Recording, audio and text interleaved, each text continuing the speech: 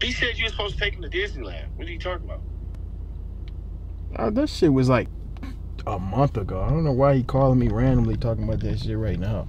You need to whoop him, calling me, talking to me crazy.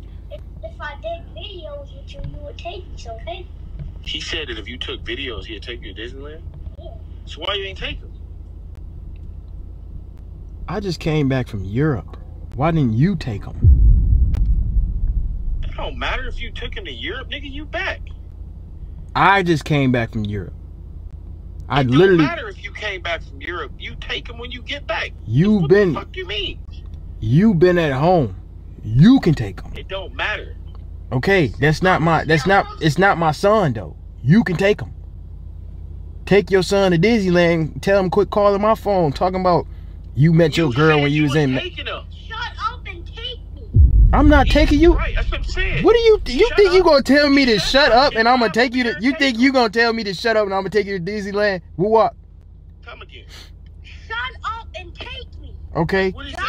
We, tell, what else is we talking about? Like, drop something. Come. I'm gonna get his bag ready. Go put your Mickey Mouse shirt. I'm not taking him to no fucking Disneyland. Nigga, it's 100 degrees outside. I'm not taking him to no Disneyland.